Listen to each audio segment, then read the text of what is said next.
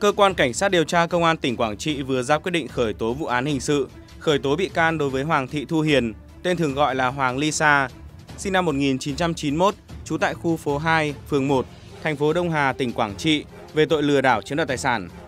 Nghi phạm Hiền được xác định trong 2 ngày đã lừa gần 5 tỷ đồng của người dân. Theo kết quả điều tra ban đầu, để có tiền trả nợ gốc và lãi cho những người đã đóng góp, trong ngày 25 và ngày 26 tháng 7 năm 2023, đối tượng Hiền đã đưa ra nhiều thông tin gian dối như góp tiền mua bán, giao dịch đất thu về tiền lời cao để các bị hại tin tưởng và chuyển cho Hiền tổng số tiền hơn 4,9 tỷ đồng. Sau khi nhận tiền từ các bị hại, người này đã dùng để trả các khoản đang nợ của những bị hại trước và dùng cho mục đích cá nhân, trả tiền vay tại các tổ chức tín dụng, trả nợ, chứ không có hoạt động kinh doanh nào như thông tin đưa ra. Đến khi không còn khả năng chi trả, đối tượng Hiền bỏ đi khỏi địa phương và bị công an tỉnh Quảng Trị ra văn bản truy tìm. Do Hoàng Thị Thu Hiền đang nuôi con nhỏ 6 tháng tuổi, nên cơ quan điều tra áp dụng biện pháp cấm đi khỏi nơi cư trú. Hiện cơ quan cảnh sát điều tra công an tỉnh Quảng Trị đang tiếp tục mở rộng điều tra để xử lý theo quy định của pháp luật.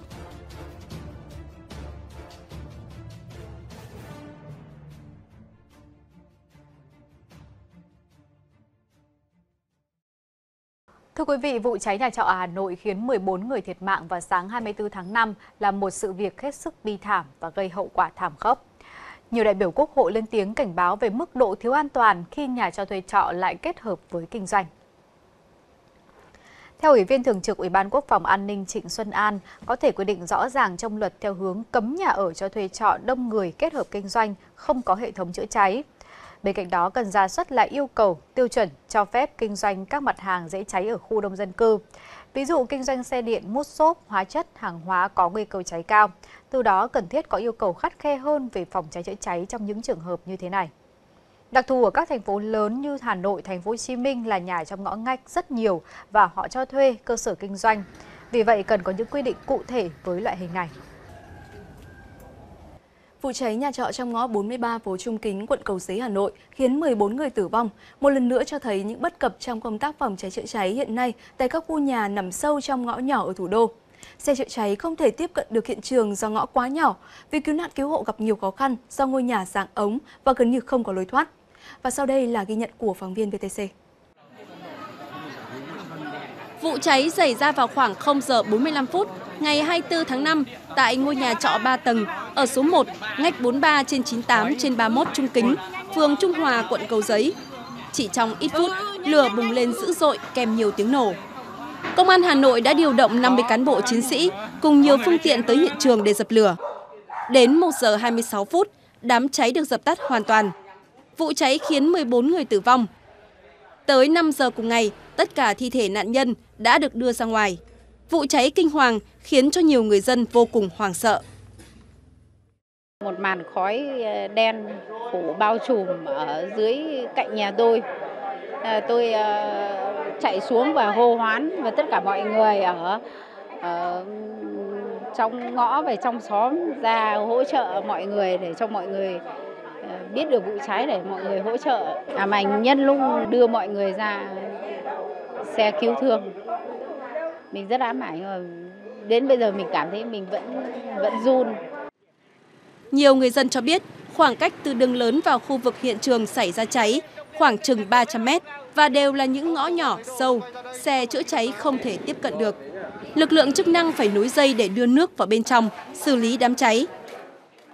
Bà lò đó, bà lò nhất cái nhà thông ở kia kìa, mà mấy chục vào phòng trọ.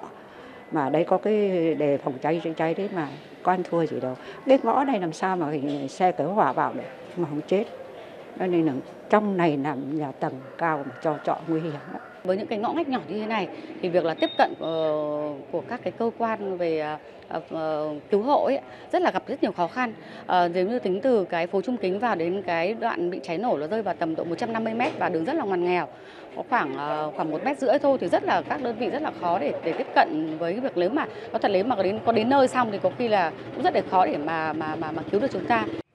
Cũng theo các nhân chứng, hiện trường vụ cháy là một căn nhà trọ dạng nhà ống 3 tầng, mỗi tầng có khoảng 4 phòng trọ. Khu vực xảy ra cháy có một khoảng sân để khoảng 20 đến 30 chiếc xe máy, xe đạp điện. Khi xảy ra cháy, những chiếc xe này bén lửa bùng lên dữ dội. Để cứu người ra bên ngoài, lực lượng chức năng và người dân đã phải sử dụng thang dây phá cửa. Gần một tiếng thì đám cháy được dập tắt. Đấy và lực lượng chức năng vào tìm kiếm những người còn ở bên trong và vận chuyển những người bị thương và người tử vong ra ngoài. Thì khoảng đến ờ, 4 giờ sáng là mọi công tác đã xong. Vụ việc này thực sự là không ai mong muốn nhưng mà sự việc nó xảy ra nó cũng khiến mọi người rất đau lòng. Ờ, không ai mong muốn điều này xảy ra. Thì cũng xin chia buồn cùng với các gia đình nạn nhân đã gặp nạn và mong mọi người ý thức trong việc phòng cháy chữa cháy.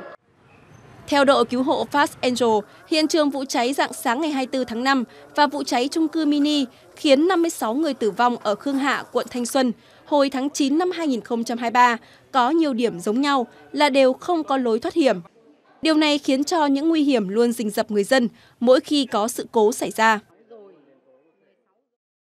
Nó cũng giống như kiểu vụ à, cháy trung cư mini ở Phương Hạ, đó là xe cứu hỏa không thể tiếp cận một cái à, trực tiếp được mà phải dẫn à, một đường dây phải dài khoảng 200 mét hoặc hơn để dẫn vào hiện trường và rồi là mới có thể là chữa cháy ngay được. Và rồi là trong hiện trường thì lại là những nơi kín đáo mà gần như là không có lối thoát.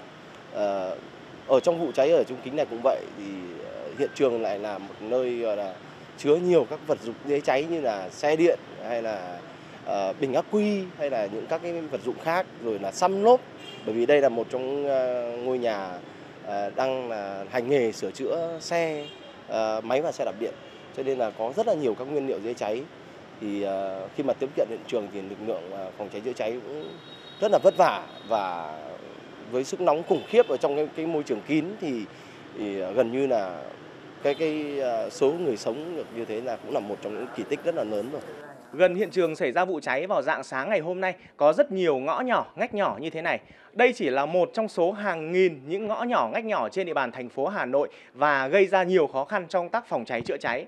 Ờ, và vụ cháy vào buổi sáng ngày hôm nay khiến cho 14 người tử vong. Một lần nữa là lời nhắc nhở và bài học cho mỗi chúng ta khi sống tại những ngõ nhỏ, ngách nhỏ như thế này.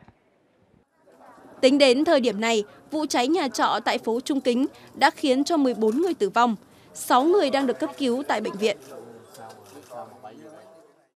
Hiện các địa phương đã bắt đầu vào cao điểm du lịch hè, mùa du lịch lớn và kéo dài nhất trong năm. Là trung tâm du lịch của tỉnh Bà Rịa Vũng Tàu lẫn khu vực Đông Nam Bộ, nên thành phố Vũng Tàu đang nỗ lực triển khai nhiều giải pháp nhằm đảm bảo an toàn cho người dân, du khách đến tham quan, tắm biển tại địa phương. Đây cũng là cách để Vũng Tàu giữ vững được hình ảnh điểm đến an toàn, thân thiện với du khách. Đây là khu vực an toàn dành cho du khách khi tắm biển tại bãi trước.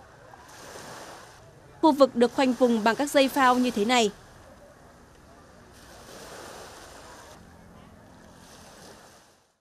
Mật bờ chúng ta đưa ra thì khoảng tầm à, hơn 100 và chiều ngang thì khoảng ngoài 200.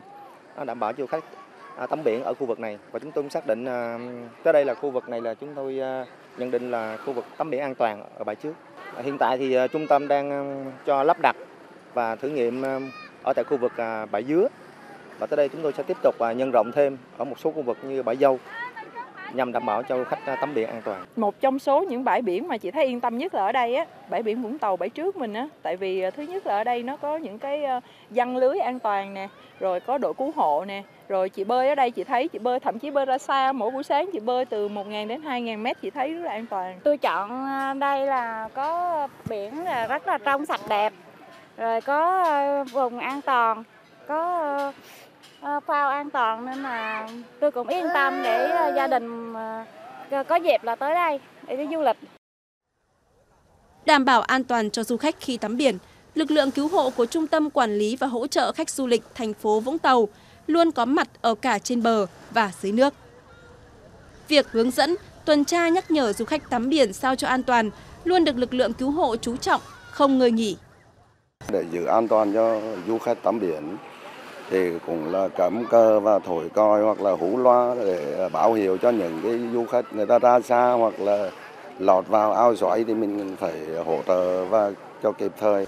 Từ đầu năm 2024 đến nay, thành phố Vũng Tàu đón khoảng 2 triệu lượt khách đến tham quan tắm biển.